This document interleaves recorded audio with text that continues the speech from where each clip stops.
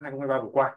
Thì uh, tổng cục thuế cũng ra một công văn chỉ đạo đấy là trường hợp kể cả là cá nhân luôn nhé kể cả là cá nhân phát hiện ra là có nguồn thu nhập ở nước ngoài nhưng không khai tháng và quý trong kỳ. Thì khi đó hành vi đó vẫn được xác định là hành vi trốn thuế nếu mà tờ khai quá chín hạn quá hạn 90 ngày rồi. đấy. Chứ này tôi khẳng định lại luôn là như vậy thì đối với trách nhiệm khai và tự khai thuế với phần thu nhập có thể là ở nước ngoài trên cá nhân phải tự khai này. Thì đầu tiên phải nói đây là trách nhiệm của cá nhân trước đã. Thế nên là nếu cá nhân không khai thì có thể vẫn rơi vào tội trốn thuế bình thường ngày xưa chúng ta rất là ít trường hợp mà cả người nhà nước xong người ta tổng cục thuế người ta đi điều tra thu nhập, đúng không ạ? Của nhiều người. Nhưng mà bây giờ thì cái trường hợp này nó xảy ra rất là nhiều và người ta cũng đưa ra những văn bản chính thức như vậy. Thế nên phải khẳng định lại luôn là với những ai là người nước ngoài, tại vì có rất nhiều người hỏi là bây giờ người nước ngoài người ta cũng không khai thì làm nào để ra được thu nhập thì khẳng định luôn nhé đấy là trên bản tin chúng tôi có phần này đấy. Nếu mà ai đọc thì cũng sẽ tìm ra được một số cái biện pháp mà bên thuế họ đang làm thì họ tìm thu nhập của bên ngoài Việt Nam ấy thì nên là phải khẳng định lại là như vậy thì cái trách nhiệm khai thuế này là một điều cần thiết nhé, đúng không ạ? Rồi, và trong tình huống của chúng ta ở đây thì sẽ là có một ông Sugeno, vẫn là cái ông vừa nãy trên bảng lương của tôi ấy. Ông này thì ngoài tiền lương trực tiếp tại Manabox Việt Nam, trên bảng lương 20 triệu tiền lương và 50 triệu tiền nhà, thì còn có thêm phần thu nhập ở bên Nhật. Đây, tình huống trên loan của chúng ta là có thêm phần thu nhập bên Nhật là 360.000 yên một tháng, hoặc là ví dụ tôi quy đổi, chung chung ví dụ là 60 triệu một tháng đi. Để khoảng khoảng đấy cho nó nó dễ hình dung. Thì ngoài ra thì công ty sắp xếp đúng không ạ? Là tiền thuê nhà 50 triệu một tháng và thuê xe là 15 triệu một tháng. Vậy thì nghĩa vụ thuế của ông này sẽ như thế nào? Ở đây chị, chị Loan có một câu hỏi khá là hay. Chắc cái câu này chị Loan cũng gần hết rồi đúng không ạ? Cũng gần hết uh, buổi sáng nay rồi thì những cái ấn phẩm cuối cùng chúng tôi sẽ xin dành tặng lại với những khán giả tiếp tục chúng ta còn đang ngồi với chúng tôi ở đây. Đấy. Ok. À, đối phần này thì mình có một vài câu hỏi như này cho các bạn với cái tình huống uh, về anh Sugino này thì các bạn xem nó tình huống của anh ấy hơi dài vì mình muốn đưa đầy đủ thông tin. Thì các bạn xem trong slide. Và ở đây là mình có hai câu hỏi liên quan đến tình huống của anh Sugino hình như là trong trong chat room hoặc là trong phần Q&A mình cũng thấy có một bạn nào hỏi câu gần gần tương tự đúng rồi, và cái tình huống đối với người nước ngoài như này nó xảy ra rất nhiều và siêu nhiều. Nên là mình đưa ảnh cái câu hỏi như thế này. Ví dụ với cái thông tin của anh Sugino như vậy thì với cái giả định là anh uh, Sugino là chỉ về nước dịp nghỉ Tết dương lịch thôi năm 2022 à năm 2023 là từ 24 tháng 12 tức từ khoảng uh, Noel nhé 2022 đến mùng 4 tháng 1 năm 2023 thì như vậy Câu hỏi thứ nhất là kỳ tính thuế đầu tiên của anh Sugeno là kỳ nào? Đáp án A là năm dương lịch 2022 từ mùng 1 đến 31 tháng 12. Ừ. B là từ mùng 1 tháng 4 đến 31 tháng 12 năm 2022. Và đáp án C là 12 tháng liên tục kể từ ngày đầu tiên đến Việt Nam mùng 1 tháng 4 đến 31 tháng 3 năm sau. À, xin mời mọi người. Mọi người trả lời câu hỏi số 1 trước ạ, đừng ai trả lời câu hỏi thứ hai nhé. Câu hỏi thứ hai chúng ta trả lời đúng mà chúng ta trả lời ngay chúng ta chưa được tính đâu ạ. Nên chúng ta cứ từ từ thôi. Bình tĩnh dạ. thôi này đi. Bây giờ với câu này thì bây giờ chúng tôi ra hẳn cho hai phần thưởng đi đúng không ạ? Cho hai người trả lời đúng và nhanh nhất đi để cho chúng ta đỡ bị sốt ruột. Đấy thì bây giờ với câu số 1 của chị Loan hỏi đây này ông Sugeno theo thư bổ nhiệm là từ mùng 1 tháng 4 năm 22 đến 31 tháng 3 năm 25 đúng không ạ? Đấy. Vậy thì kỳ tính thuế của ông này là tính từ thời điểm nào năm tính thuế đầu tiên thế nào? Đấy người nước ngoài là người ta rất là lùng bùng nhiều cái đoạn này.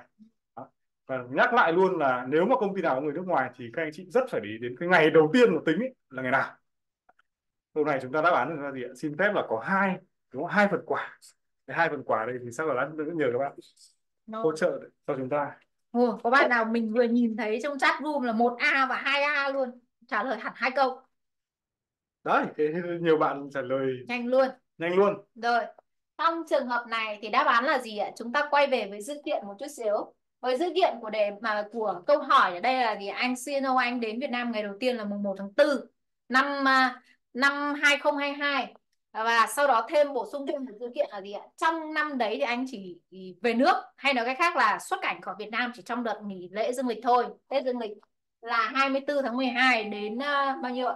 Đến mùng 4 tháng 1 năm 2023 như vậy thì các bạn quay ngược trở lại cái sơ đồ mà mình gợi ý cho các bạn về việc xác định tình trạng cư trú và năm tính thuế đầu tiên kỳ tính thuế đầu tiên. Trong cái slide khi mà mình nói về phần tổng quát ban đầu cho mọi người thì mọi người sẽ xem để xác định tình trạng cư trú và kỳ tính thuế đầu tiên của người nước ngoài khi người nước ngoài đến Việt Nam lần đầu tiên thì sẽ có những trường hợp như thế nào ừ. Chị ạ? đó thì với người nước ngoài lần đầu tiên đến Việt Nam thì chúng ta có thể có ba kết quả trả về kết quả thứ nhất là bản thân kỳ tính thuế đầu tiên của người nước ngoài trong năm đầu tiên đấy là cả năm dương lịch đầu tiên kết quả thứ hai là kỳ tính thuế đầu tiên là từ ngày đầu tiên đến từ tháng đến Việt Nam đến 31 tháng 12 của năm dương lịch đầu tiên ừ. là kết quả số 2 tức là ngắn hơn cái, cái Đúng rồi. một chút đấy. ngắn hơn trường hợp này nó áp dụng đối với tình huống là gì ạ cá nhân này là công dân của quốc gia và vùng lãnh thổ có ký hiệp định tránh đánh thuế hai lần với Việt Nam ừ. thì để đảm bảo là thuế không trùng thuế đối với những cái bên đối tác mà đã ký hiệp định với mình rồi thì kỳ tính thuế đầu tiên và phạm vi xác định thu nhập trong năm tính thuế đầu tiên là chỉ tính từ thời điểm người ta đến Việt Nam thôi chứ không tính trong cái giai đoạn trước đó còn những cá nhân mà của quốc gia công dân của quốc gia vùng lãnh thổ không ký hiệp định tránh thuế hai lần với Việt Nam kệ anh anh nộp đâu thì việc đấy là việc của anh về tôi tôi tận tính tất thì khi đó là cả năm dương lịch đầu tiên đúng không ạ thì đấy là cái kết quả số 2 và kết quả số 3 đấy là gì ạ nếu như trong năm dương lịch đầu tiên mà cá nhân đấy không thỏa mãn làm điều kiện cư trú ừ. thì cá nhân đó xác có thể sẽ được đến option 3 đến tịch kết quả số 3 là xác định kỳ tính thuế đầu tiên là gì ạ? À? 12 tháng liên tục ừ. kể từ ngày đầu tiên đến Việt Nam. Được chưa? Đó. Thì chúng ta có ba cái kết quả như vậy tương ứng với ABC nha. Và trong đây thì anh Sugeno là à, công dân Nhật Bản. Nhật Bản có ký hiệp định tránh thuế hai lần với Việt Nam đúng không ạ? Anh ấy đến Việt Nam từ ngày 1 tháng 4 mà tính từ mùng 1 tháng 4 đến hết 31 tháng 12 năm 2022 Thời gian anh ấy xuất cảnh khỏi Việt Nam chỉ từ ngày 24 tháng 12 đến hết 31 tháng 12 thôi, chỉ có mấy ngày thôi. Trừ đi thì hơn 183 ngày chưa? Hơn chắc rồi, không gì phải bàn. Thì trong trường hợp đấy là anh ấy sẽ được xác định gì à? Đáp án đúng ở đây của câu 1 của chúng ta là đáp án nào ạ? À? Đáp án nào ạ? À? Đáp án đúng ở đây sẽ là đáp án B. Được chưa? Đáp án B ở đây là kỳ tính thuế đầu tiên và cũng là kỳ mà anh nghĩ là cá nhân cư trú trong kỳ tính thuế đầu tiên trong năm tính thuế đầu tiên của anh Sugeno là từ mùng 1 tháng 4 năm 2022 đến 31 tháng 12 năm 2022. Yeah. Đáp án đúng là đáp án Ở đây có một câu hỏi nữa là chính là đây có một chị hỏi ra đấy. Ừ. Nếu mà trường hợp không phải là mùng 1 tháng 4 mà cá nhân đến chẳng hạn vào ngày 30 tháng 4, ừ. ngày cuối cùng của tháng 4 đi. Ừ. Thì kỳ thuế đầu tiên là từ mùng 1 tháng 4 hay từ mùng 1 tháng 5? Các chị hệ thống thuế nhà mình bây giờ à, quản lý uh, kỳ tính thuế là tròn tháng. Mặc dù quy định nói là kể từ ngày đầu tiên đến Việt Nam nhé nhưng mà kỳ tính thuế trên hệ thống kê khai thuế là tròn tháng.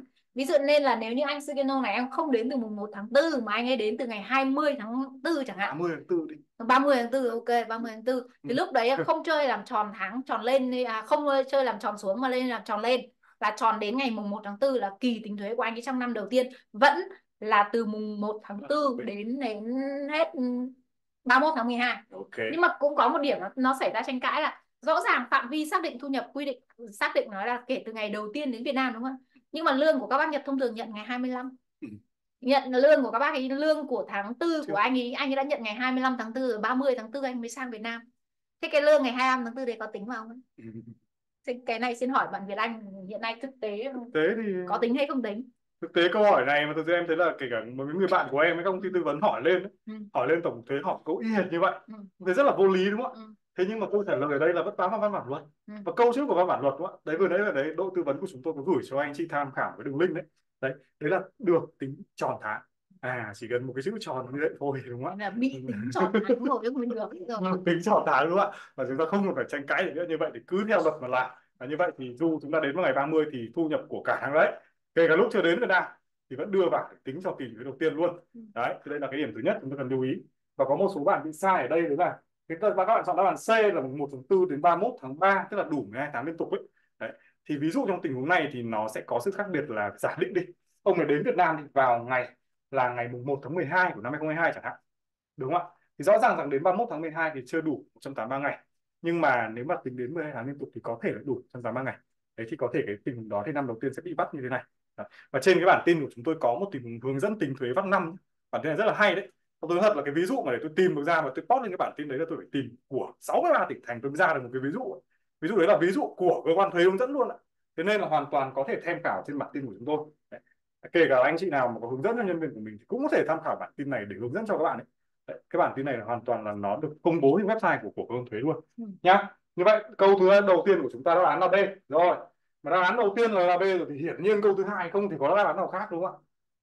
Đáp án hai cũng là B ạ. cũng là B rồi. Chắc là cũng là B rồi. Gì mà chắc?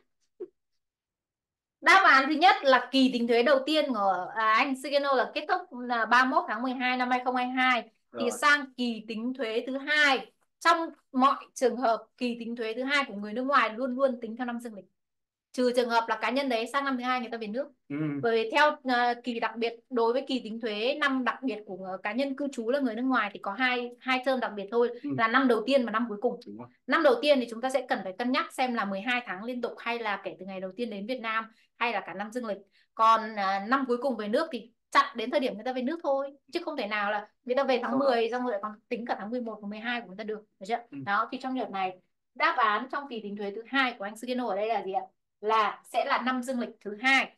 Chưa? Ừ. năm dương lịch thứ hai là năm nào? Năm uh, là đáp án A là năm toàn à, bộ năm 2023 được chưa? okay. cái đoạn đấy thì mọi người lưu ý.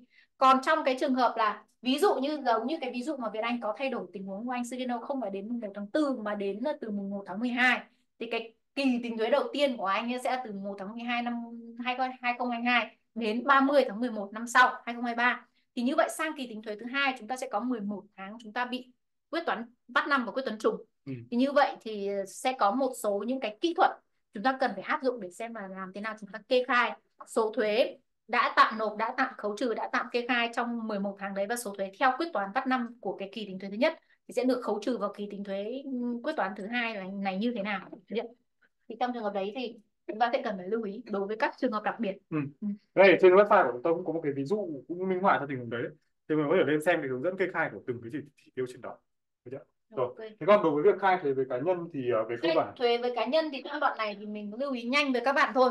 Thì quay về cái nguyên tắc quản lý thuế thu nhập cá nhân thì nguyên tắc tối uh, nguyên tắc ưu tiên đầu tiên là khấu trừ tại nguồn.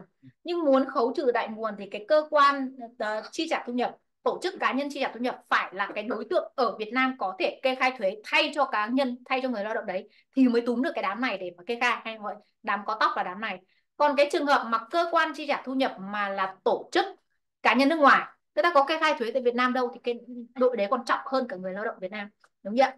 Thì khi đó là bản thân cá nhân đấy sẽ phải trực tiếp kê khai và nộp thuế lên cho cơ quan thuế.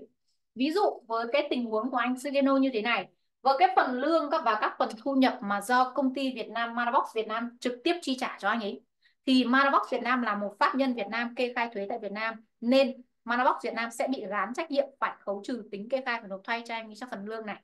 Nhận. Còn cái phần lương mà anh ấy nhận trực tiếp từ công ty mẹ bên Nhật bên Nhật thì bên Nhật đấy là không phải là bên kê khai nộp thuế trực tiếp cho bên Việt Nam rồi. Thì trong trường này bản thân anh Sugeno anh sẽ phải kê khai nộp thuế trực tiếp trên cơ quan thuế. Và cái kỳ cho uh, kỳ kê khai cho trường hợp cá nhân trực tiếp kê khai thuế cho cơ quan thuế ở đây là tùy theo quý. Ừ. còn cái cách lên tờ khai các kiểu thì phần đấy nó cũng không có gì quá khác biệt so với phần mà kê khai theo tháng như của Việt Anh nó chỉ là mẫu mẫu